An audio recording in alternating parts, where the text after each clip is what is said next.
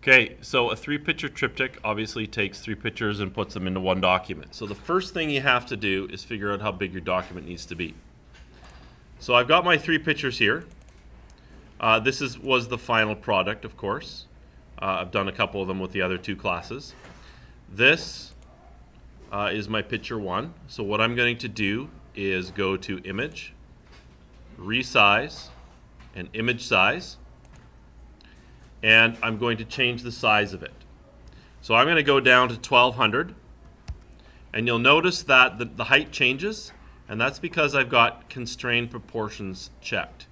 The other thing to remind you of is that you need to check resample image. If I don't have that checked, then I can't change the pixels.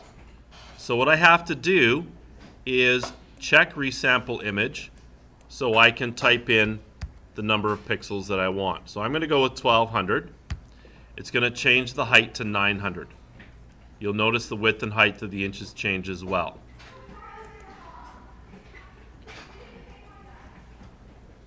Okay, so I'm going to do that for all three pictures. Image, resize, image size. Make sure my resample image is checked. Constrained proportions. I'll type in the exact same number. Height is exactly the same. Third picture, image, resize, image size. 1200.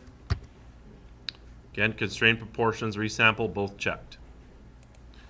Now, 1200 times 3 is 3600 pixels. So my document needs to be at least that big in order to fit all three pictures in, but I want more space than that.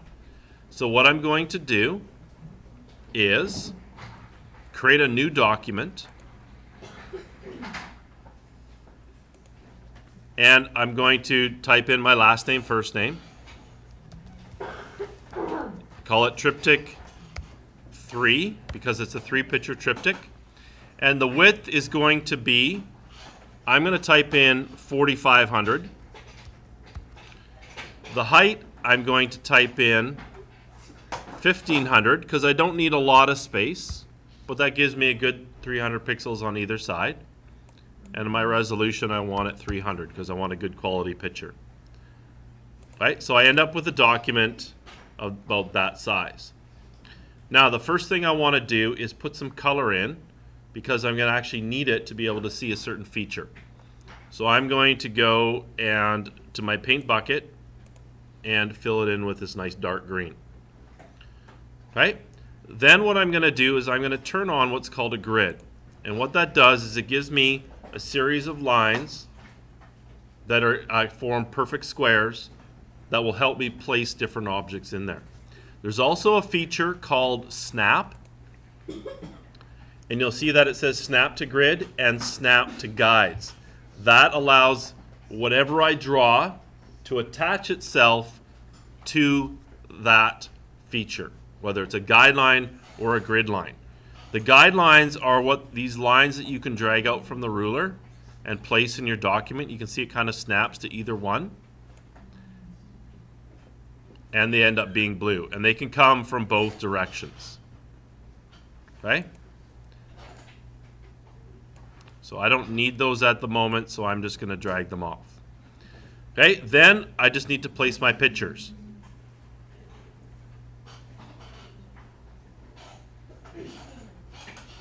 So I'm going to go to my picture, go to select all, because that's what I need to do to be able to copy it.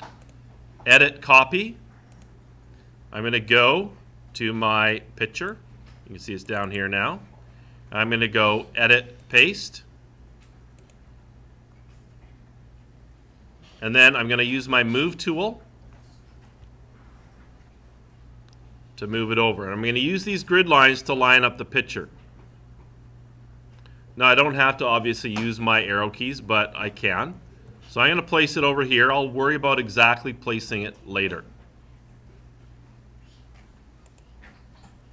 I'm going to go back to my next picture. Same thing, select all, edit, copy, go back to my document,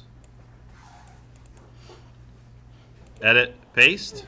It's going to be in the middle, so I'll leave it there. Third picture, same thing. Select all. Edit copy.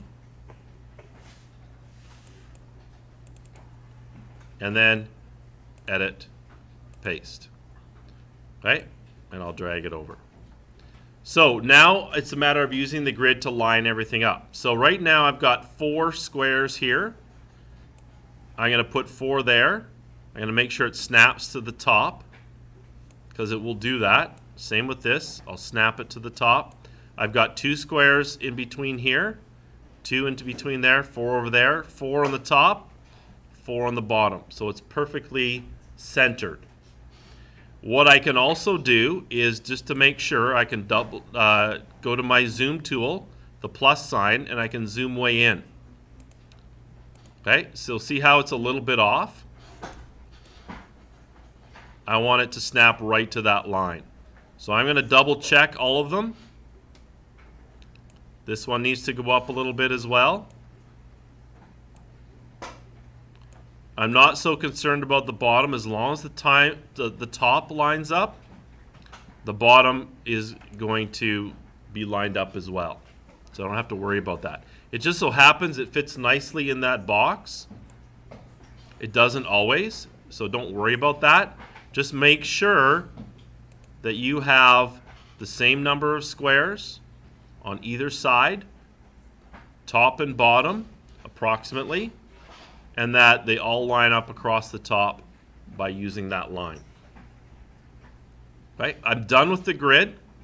Um, what I can also do is if I am not satisfied with my um, my um, the amount of space I have on the mat, or for example, if I have a little bit of extra here, say there's half a square there, what I can do is I can go to my crop tool. So it's this tool right here. And the crop tool basically just allows me, come on. So it's the crop tool. It allows me to select an area. So say I want to cut one square on all sides off my mat, which is this bottom layer here with the background color. And you'll see that the cropping tool, because I have the, the, the snap to grid applied, it will actually snap itself to the line. and cut it off perfectly. So I can do it that way if I want to decrease the size. And that's called the crop tool.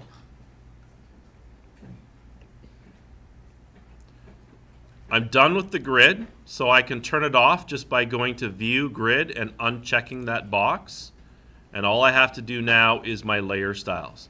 So I'm going to go to my Move tool, and this box up here is called Auto Select Layer. I can check it or uncheck it. If I have it checked, it allows me to click on an image on the picture and it'll select whatever layer that picture is on. So if I click on the green, it goes down to my layer 1, which I'm going to rename matte. I can click on this picture. That's my left-hand picture. I can click on this one. It's my middle or center. And again, rename your layers so you know what's there. And right. I could name it tree, bush, water fountain, but it doesn't really matter. So what I'm going to do is I'm going to create a, a, frame using my layer style, just like we did last time. So layer style, style settings. I'm going to add in a stroke, put it up around probably 20, so it's visible. And this time I'm going to use a bevel. And again, it that makes it a little bit three-dimensional. So I'll drag that up a little bit so it starts, you can see it'll you can go all the way to the center almost. But I'm just going to do a slight bevel on it just so you can barely see it. You also have glows you can put in. So it will, um, you know, whatever color you choose. Uh, so say you wanted bright pink. And then it will put a, a glow on that picture. Okay, and you can use whatever color you want. Just match it to the picture. I wouldn't put pink on there because it just takes away from the picture. And that's not the point. I'm not going to use a glow that time. The drop shadow, same idea. You can put a shadow on it so it looks like it stands out a bit. I can also turn this angle here. You can see the, the shadow can go in a whole bunch of different directions. So I, I'll use a drop shadow this time, why not? Make it a little bit transparent so it's faint. Make it fairly close. And then I'm going to click OK. That puts the layer style there. I don't know if I like the shadow. So if you want to edit it, you can double click on this little icon on the layer. You see a little symbol appears. It will reopen that up. I'm going to take the drop shadow off. I don't really like it. And then it will change it. So this little icon here on your layer allows you to go directly to the layer style that's there. Now all I have to do is put the same layer style on there. I didn't take note of numbers because what I can do is I can go to layer, layer style and hit copy layer style.